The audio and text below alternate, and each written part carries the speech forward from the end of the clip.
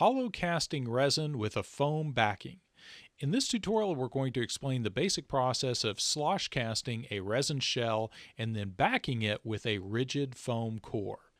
Now, this technique is typically employed for two different reasons. One, to make a lower cost part than a solid resin cast, and also because sometimes if you're casting just straight rigid foam by itself, expanding foam doesn't always get the same detail as a resin cast. So, this uh, allows you to get the benefits of both techniques of both a resin surface and then a lightweight, economical foam core.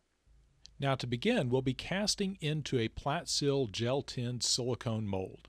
Now, Gel-10, of course, being a platinum silicone, does not require any mold release, and we don't want to use any mold release in this because any release residue would later need to be degreased from the part, and we want to avoid that if at all possible. So what we're going to do instead is dust the inside of the mold with baby powder or cornstarch, and then brush that into the detail of the mold, and then blow out any excess with an air hose. Now what this does, if you watched our previous video on painting techniques, you saw us uh, do this on a smaller piece, basically what this process does is it allows a thin layer of that talc to transfer to the cast part and give us a more matte surface that's much easier to paint. So really important technique, especially when you're using really soft silicone molds that might uh, otherwise transfer a little bit of oil from that silicone to the surface of your cast part.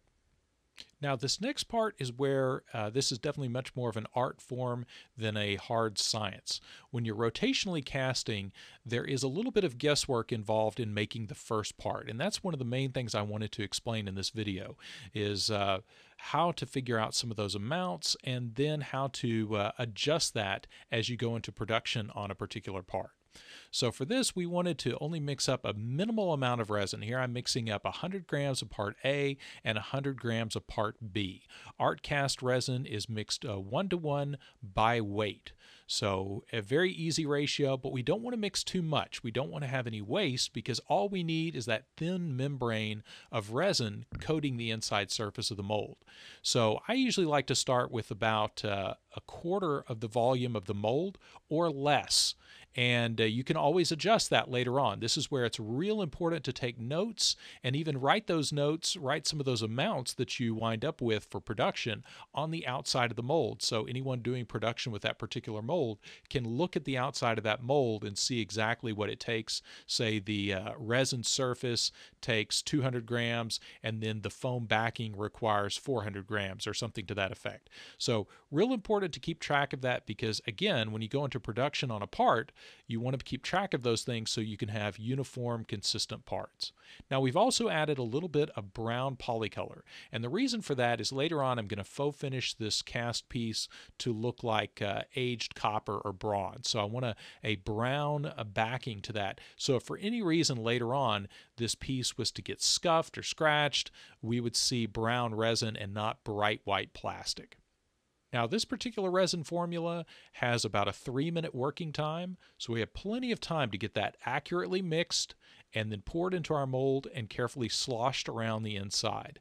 And one of the nice things about this resin formula versus some of the lower viscosity resins is we don't want anything too low viscosity because when you're slosh casting a part like this, if it's really low viscosity, like say EasyFlo 60, it's going to have a tendency to just sink to the lowest point and uh, not form any kind of membrane around on the surface of the mold. So real important there, you need a resin that's going to cling to the surface of the mold a little bit, and typically the higher viscosity resins do that better than the lower viscosity resins. And uh, resins like EasyFlo 120 or TC800 are also both really good selections for this. Now you'll notice I'm using that stir stick to just scrape off the flange and make that level. And it's important to do that before the resin completely cures. You'll notice it's starting to kick a little bit there. If we wait too long and start scraping, we might start pulling up that resin skin. So you want to do that step really quick before that completely cures. And like we've shown in other videos, that's going to cure from the thickest points and radiate out. So once that started that color change, you're ready to move on to the foam casting. Now, just as a, an added little precaution here, when we pour our foam, we don't want that expanding out the back. In this particular case, I don't necessarily need it to, to be flush with the back of the part, but I do want to make sure that if the foam rises a lot, that it stays within the mold. So what I'm doing here is waxing a piece of plastic that I'm going to lay on the back of the mold. And uh, this is a nice big piece of uh, thick Lexan, but you could also do with a piece of uh, melamine coated plywood or a project board or anything like that. Uh, anything that's sturdy enough to withstand the pressure of the foam, as you'll see here in a minute. Now this is our six pound rigid casting foam. This is just a cheap general purpose hard casting foam that cures to a six pound density, which is actually kind of a medium density for rigid foam. And uh, this particular foam is going to expand around nine to 10 times the original volume. So for our first part, like we have here, uh, some of this is going to be some guesswork. There's no way, uh, if you've never cast into that mold before, without some really complicated uh, geometry to figure out what exactly the volume of that is, some of this you just need to mix up a small batch and see where that winds up filling up the mold. Now, an important side note about materials like this that are mixed one to one. It's really important to remember, and this is going to sound really stupid, but it's really important to remember that uh, materials that are mixed one to one are not sum to sum. It does need to be as accurate as possible. A lot of people see that one to one mix ratio for the first time and think that they can be a little bit sloppy, but remember that the more accurate you are, the better your results will be, especially when you're doing parts in production. If you're sloppy, you will have inconsistent parts. So, always a good idea to be as accurate as possible. Even though there is a little bit of a margin of error, I would not rely on it, especially when you're working in small batches. Now what I'm doing here is just using a cheap throwaway brush to spread that foam around as it expands. Uh, with uh, the rigid casting foam expands a little bit slower than some of our other foam systems, so you do have a little bit of time there to get that spread out across a mold, especially a more complicated part like this with a lot of surface detail. And now I'm just going to put that plastic board on the back and a weight on the back of that.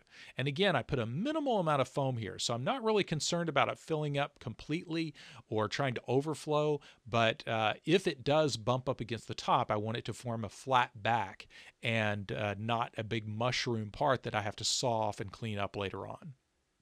Now, this particular foam sets in about uh, 30 to 45 minutes. And by this point, the resin should definitely be set. So I usually demold a part like this within about 45 minutes to an hour. You're typically ready to demold this part. And you'll find that if your foam has bumped up against that uh, that plastic board a little bit, because of that wax, you should easily be able to release that and uh, separate that from that uh, plastic board. You'll notice that we filled up the mold just shy of the top. And if on our next one we want to adjust that so it comes all the way up to the top, this is where those notes I mentioned earlier come into play. We can always go back to those original notes and say we mixed up a four ounce batch for our foam. We could raise that up to maybe a uh, five ounce batch, two and a half ounces of A, two and a half ounces of B.